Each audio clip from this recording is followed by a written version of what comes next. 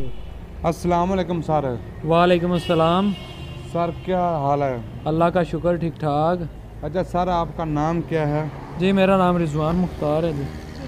ठीक। अच्छा सर आप अपने फार्म का नाम बताएँ जिस जहाँ पे ये आपका फार्म मौजूद है। जी मेरा फार्म इस वक्त राज्यवाल तहसील दीपालपुर और डिस्ट्रिक्ट कुकाड़ा में है। जो डिस्ट्रिक्ट उकाड़ा के अंदर है। जी। तो ये बता दें आपको कितनी को देर हो चुकी है इस काम में इस फ़ील्ड में? मुझे तकरीबन एक साल हो गया है। अच्छा एक साल के अंदर आपका कितना तजर्बा हो चुका है? एक साल का एक साल का ही तजर्बा आप कह सकते हैं लेकिन यह है कि मैंने इस पर रिसर्च बहुत ज़्यादा की है बहुत ज़्यादा इस पर तहकीक की है। तहकीकात करने के बाद मुख्तलिफ़ इसमें एक्सपेरिमेंट गए हैं उधर से बहुत कुछ सीखने को मिला अच्छा इस काम को करने के लिए क्या तजर्बे की ज़रूरत होती है? जी इतना ज़्यादा तजर्बे की ज़रूरत क्यों नहीं होती? क्योंकि हमारा जो इलाका है ये एग्रीकल्चर इलाका है फ़ार्मिंग इलाका है। अच्छा। और यहाँ पे जब मैंने काम शुरू किया था मुझे तो बिल्कुल ज़ीरो परसेंट एक्सपीरियंस था। तो लेकिन ये है कि आप जो भी यहाँ पे एम्प्लॉय रखते हैं मुलाजम रखते हैं उसको तजर्बा होता है उस वो अगर आपको अच्छा अच्छा तो सर आप ये बताएँ कि आपने जब पहली दफ़ा ये काम स्टार्ट किया था तो आपको किसने ये मशवरा दिया था ये काम करें आप?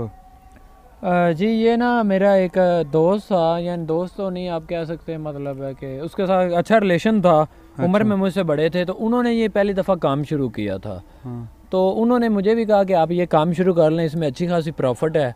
उस वक्त पिछले ईयर में ना आलू का बहुत ज़्यादा मंदा था। आलू सस्ता था आलू काफ़ी सस्ता था यहाँ पे तीन सौ रुपये की बोरी मिल जाती थी। तो उस वक्त उसने ना आलू से शुरू किया था। तो उस वक्त उसने मुझे आइडिया दिया तो मुझे आइडिया पसंद आया। मैंने उसके साथ मिलकर पहले दफ़ा काम किया था तो उसके बाद फिर मैं अपना काम करने लगा पड़ा। अच्छा जब आपने पहली दफ़ा यानी कि आलू से स्टार्ट किया था तो आपको प्रॉफिट आई थी आपके हिसाब से हमने वीडियो भी पहले भी बनाई थी आपकी तो कितनी प्रॉफिट आई, दोबारा आप बता दें थोड़ी सी। जी, वो उसमें तकरीबन आपको एक बछड़ा तीन महीने के अंदर अंदर दस, बारह या पंद्रह हज़ार रुपया दे देता है। ये आप पे डिपेंडेंस करता है कि आप उसका कितना वेट बढ़ा सकते हैं और आपको गाह कैसा लगता है। उसी के मुताबिक आपका चलता है। अच्छा अगर कोई बंदा पहले आप काम स्टार्ट करना चाहता है, उसके लिए आलू परचेज करे तो अभी उसको क्या फ़ायदा होगा आलू महँगा पड़ेगा या सस्ता पड़ेगा तो ये थोड़ा सा वजह से बता ये इस वक्त तो आलू काफ़ी ज़्यादा महँगा है। इस वक्त आलू के हम भी जो जितनी फ़ीड दे रहे हैं उसमें आलू नहीं डाल रहे। तो अभी आलू की नस्बत वंडा अच्छा होगा इस टाइम जी वंडा मैक्सिमम का वंडा है जो कि जानवर को फरबा बनाने के लिए मोटा बनाने के लिए मार्केट में हर जगह पर दस्तियाब होता है। वो आप यूटिलाइज कर सकते हैं। अच्छा वंडा जो होता है वो कहाँ से मिलता है? जो ये किसी भी करियाना की दुकान से आप या पंसारी की दुकान से किसी भी इलाके में चले जाएँ क्योंकि हमारा एग्रीकल्चर लैंड है तो यहाँ पे लोगों को हर किस्म के वंडा की ज़रूरत होती है तो लोग हर किस्म का वंडा इस्तेमाल करते हैं। ये बाज़ार से बड़ी आसानी से दस्तियाब हो जाता अच्छा है बाज़ार से आसानी मिल जाते हैं। जी जी। इसके अलावा वंडे के साथ आप तोड़ी डालते हैं तोड़ी की ज़्यादा डालते हैं या वंडा ज़्यादा डालते हैं? जी ये तूड़ी और जो वंडा है उसको मिक्सअप किया जाता है। अच्छा। हाँ जी। तो ये होता है जब हम बछड़ा ले लेके आते हैं ना स्टार्टिंग में हम्म, उस वक्त तकरीबन जो इसका पा एक एक किलोग्राम वंडा होता है एक दिन की खुराक। ये तीन किलोग्राम एक दिन की खुराक तक पहुँचता है तीन महीने के अंदर। अच्छा। हाँ जी तो वो तकरीबन एक बछड़े पे तकरीबन तीन महीने में हमने एवरेज निकाली थी तो वो तकरीबन बनती थी तीन वो जो होती है ना तोड़े या बोरी हाँ, आप कह बोरी- सकते हैं। वो तीन बोरी एक बछड़े के ऊपर आती है कॉस्ट ये सिर्फ़ वनडे वनडे की। अच्छा। उसके अलावा इसके एक्सपेंसेस और ज़्यादा होते हैं मसलन ऊपर आपने जो मुलाजम रखा होता है उसके अलावा ये तूड़ी का पिछले दिनों बहुत ज़्यादा शॉर्टेज हुआ था आपको पता हाँ, होगा क्योंकि आप भी हाँ बहुत ज़्यादा महँगी थी उस वक्त हमें थोड़ी सी मुश्किल पेश आई थी।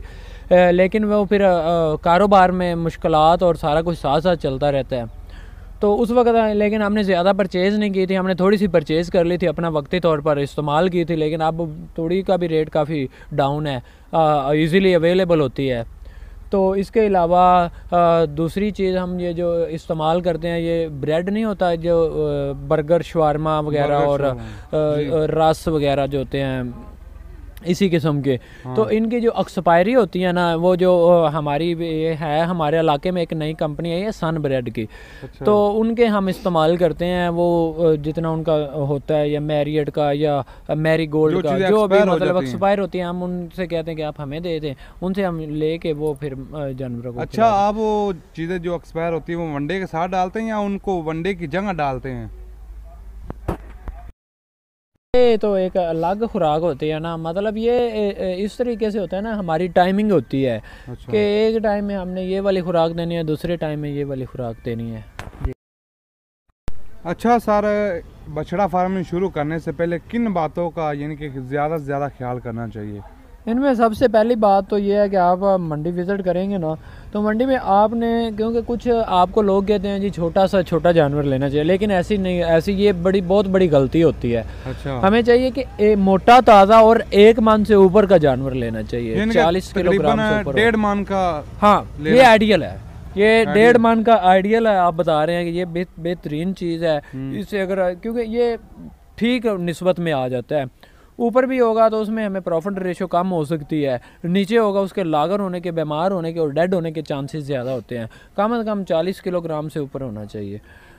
यानी कि चालीस से ज़्यादा एक मन से ऊपर होना हाँ डेढ़ मंथ आपने जो आप बता रहे हैं ना वो आपने अच्छा गैस किया। है अच्छा तो इनको मंडी से लाना अच्छा होता है या वैसे लोगों से खरीदना होता है? ये तो आप? पे डिपेंडेंस करता है क्योंकि अगर पहली दफ़ा आप को अगर मंडी का नहीं है आइडिया तो आप किसी फार्म वाले से रबता करें उससे बछड़े ले लें और उससे आपको मज़ीद इन्फॉर्मेशन भी मिल सकती है रहनमाई मिल सकती है कि किस तरीके से इनको आप हैंडल करते हैं। अच्छा इस फार्म को शुरू करने के लिए कम से कम कितने बछड़े होने चाहिए? कि कितनी इन्वेस्टमेंट इसके ऊपर करनी चाहिए? ये तो आप जितनी मर्ज़ी क्योंकि अगर आप जितनी ज़्यादा इन्वेस्टमेंट करेंगे उतनी प्रॉफिट रेशो ज़्यादा होगी मुलाजम आपको वही होगा। अगर आप दस बछड़े लेते हैं तो दस पे भी आपने एक मुलाजम रखना है बीस लेते हैं तो एक ही रखना है। तो लेकिन ये होगा कि उस पर ख़र्चा डिवाइड हो जाता है। हाँ जी तो आप जितना आप कम से कम पंद्रह या बीस तो होने चाहिए। यानी कि पंद्रह बीस होने ये एक छोटा सा एक मे- एक बिल्कुल छोटा सा आपको बता रहा हूँ। नॉर्मल आपने आइडिया बताया यानी कि थोड़े होने थोड़े होने का इतना आपने बता हाँ दिया जी। क्योंकि अगर एक बंद मुलाजम रखे तो फिर भी उसको भी उतनी तनख्वाह देनी हाँ पहले जितनी ज़्यादा हो तो फिर भी उतनी तनख्वाह देनी। बीस बहुत कम तादाद आपको बता रहा हूँ लेकिन कम अज़ कम बीस तो होने चाहिए। अच्छा इसमें आप ये बता दें कि कितनी नस्लों के आपके पास बछड़े मौजूद हैं?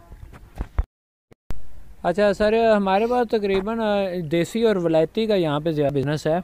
अच्छा। और बाकी इसकी टोटल तकरीबन हम जो और भी नस्ल ला ले, ले आते हैं कभी चौलस्तानी और सही वाली नस्ल भी ले आते हैं। लेकिन ज़्यादा देसी और वलायती का यानी कि ज़्यादा आप तरजीह देसी बछड़ों को देते हैं। जी बिल्कुल। ठीक है। अच्छा जब आप मंडी से लेकर आते परचेज करके लाते हैं तो उस वक्त आप आते ही इनको वंडा खिलाते हैं या तोड़ी खिलाते हैं या कोई सब्ज चारा अच्छा क्वेश्चन आपने किया है। इसमें यह होता है कि जब हम मंडी से लाते हैं ना जी जी। तो हमने अपने वनडे पे लगाना होता है। तो वनडे पे लगाने के लिए इसको पहले वैक्सीन इसकी लगाई जाती है। हाँ जी वैक्सीन लगाई जाती है और कम अज़ कम ये जो बछड़ा होता है इसे अपनी जो हमने खुराक देनी होती है इस खुराक पर आने के लिए कम से कम 10 से 15 दिन का टाइम चाहिए होता है।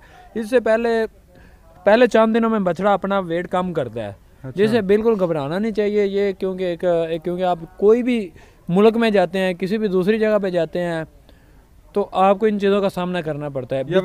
कोई भी कारोबार करते पहले होता है। नहीं इसको आप लॉस तो नहीं ना कहेंगे। ये तो आप इस तरीके से कह सकते हैं कि आप अ, मिसाल के तौर पर यहाँ से आप जब सऊदी अरब जाते हैं उम्रा करने के लिए तो वहाँ पे आपको इंजेक्शन इंजेक्ट किया जाता है कि आप वहाँ के एटमोसफेयर के मुताबिक रहें। हाँ। तो यही सूरत हाल यहाँ पे भी होती है। जब आप मंडी से आपको आप इनको इस अपने इलाके में लेके आते हैं ना तो इन पे भी यही सूरत हाल होती है कि आप इनका जो इंजेक्शन इंजेक्ट करवाए जाते हैं इनकी मखसूस एक वो होती है वैक्सीन होती है वो लगवाई जाती है।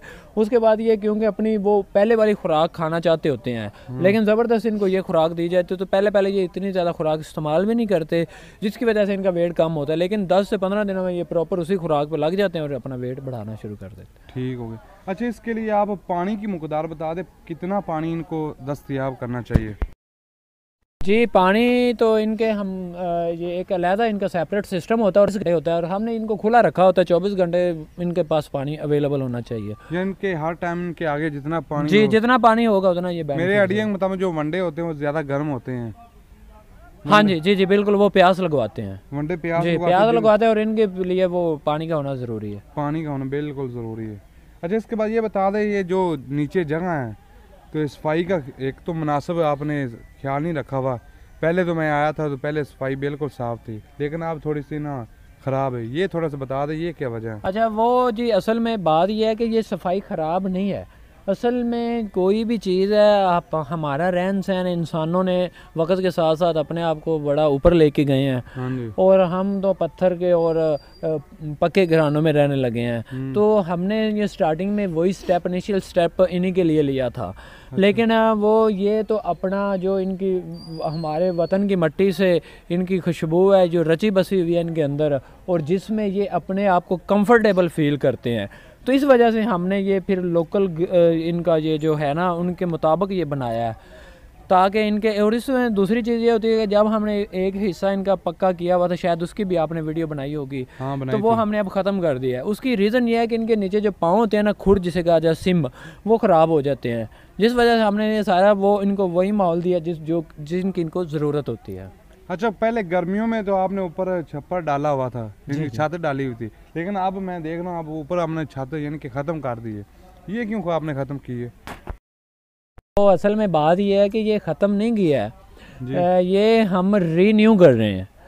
क्योंकि सर्दियाँ आ रही हैं अब क्योंकि छोटे छोटे बछड़े लाने होते हैं और आपको पता है कि दिसंबर जनवरी में शिद्दत ज़्यादा हो जाती है। हाँ हाँ जी तो ये रीन्यू कर रहे हैं। रिन्यू कर रहे हैं। जी जी। अच्छा सर ये बताएँ कि जब आप लेकर आते हैं तो कितनी देर बाद आप वज़न करते हैं?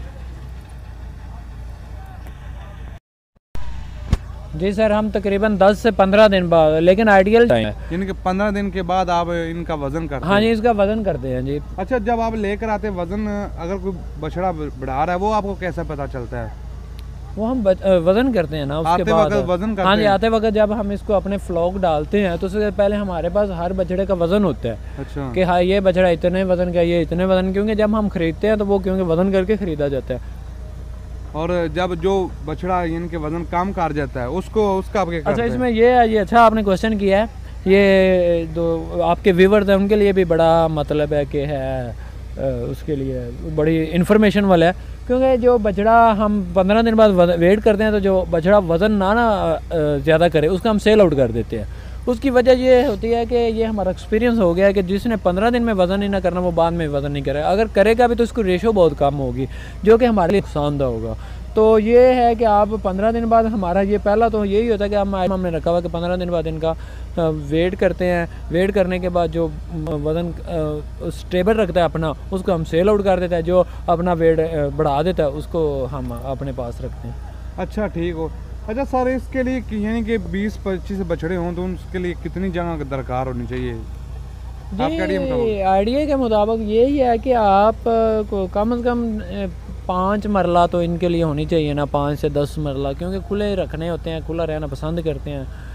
ये तो आप मतलब है ये तमाम हमारे लोकल जगहों पे लोगों को पता ही होता है कि कितनी जगहों पे ये चीज़ें आ सकती हैं। अच्छा ठीक। अच्छा बछड़े रखने के बाद जो लोग मुला- मुलाजम रख लेते हैं जी जी। क्या उनके पर उन पर तवज्जो देनी चाहिए या वो मुलाजम अच्छे होते हैं जिन पर तवज्जो ना नहीं भी नहीं नहीं अगर आप कि आप कोई भी बिज़नेस करते हैं कोई भी कारोबार करते हैं उस पर अगर आपका चेक एंड बैलेंस नहीं है तो आप फेलियर है।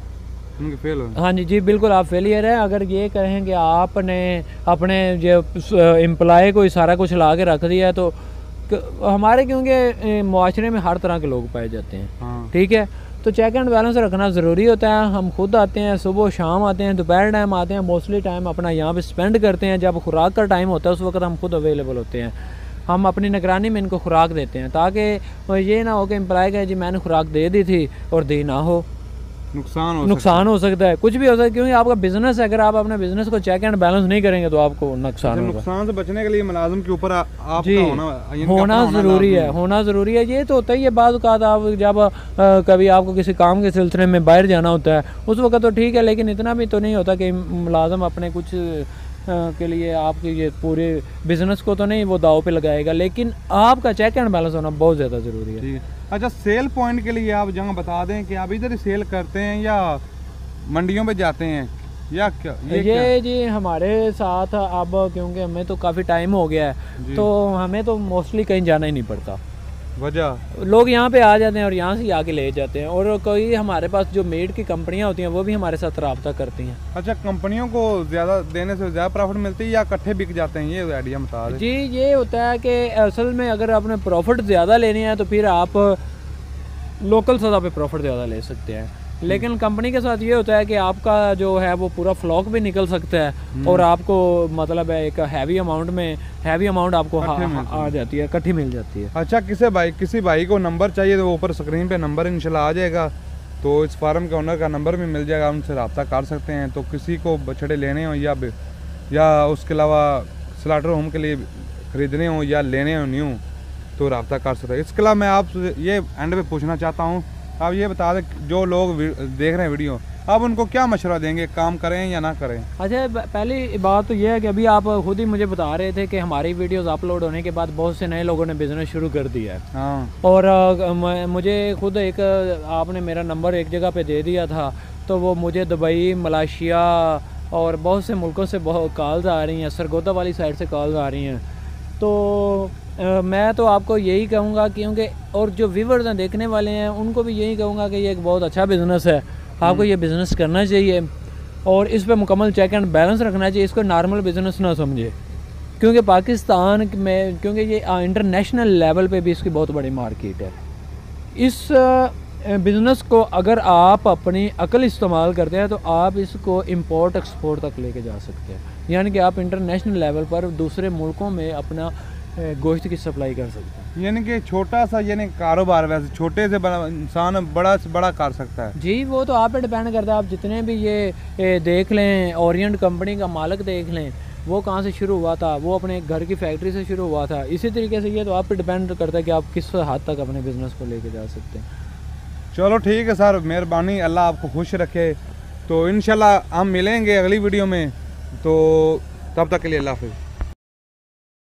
तो अगर कोई मालूम चाहिए तो हमसे रबता कर सकते हमारा नंबर भी स्क्रीन पर आ रहा है तो जो कोई मालूम चाहिए तो इस जो भाई है, उसका भी नंबर इंशाल्लाह स्क्रीन पे आ रहा है। तो मिलेंगे अगली वीडियो में।